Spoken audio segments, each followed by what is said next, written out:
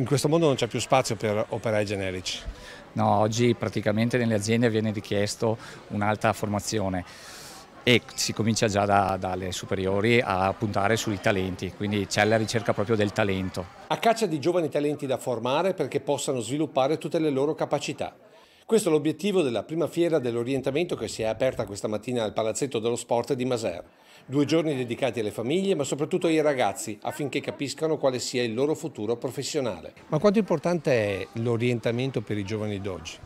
Allora, l'orientamento è sicuramente importantissimo per i ragazzi che si trovano così giovani a fare una scelta, una scelta poi per quello che sarà il loro lavoro futuro, un lavoro che sicuramente ci si aspetta che sia un lavoro di successo, che sia un lavoro appassionante e soprattutto che dia loro la possibilità di realizzarsi pienamente per le loro competenze e le loro abilità. Tecnologia e manualità al servizio dei talenti, in un percorso per le nuove leve professionali ma anche per le imprese sempre più alla ricerca di figure aziendali formate o da formare. Un'esigenza dei territori che le amministrazioni dell'Asolano hanno concretizzato in questi due giorni dove non è mancata la presenza delle organizzazioni imprenditoriali. Perché bisogna eh, cercare di creare questo collegamento, questo ponte tra questi due mondi, il mondo della formazione della scuola e il mondo dell'impresa e dell'imprenditoria.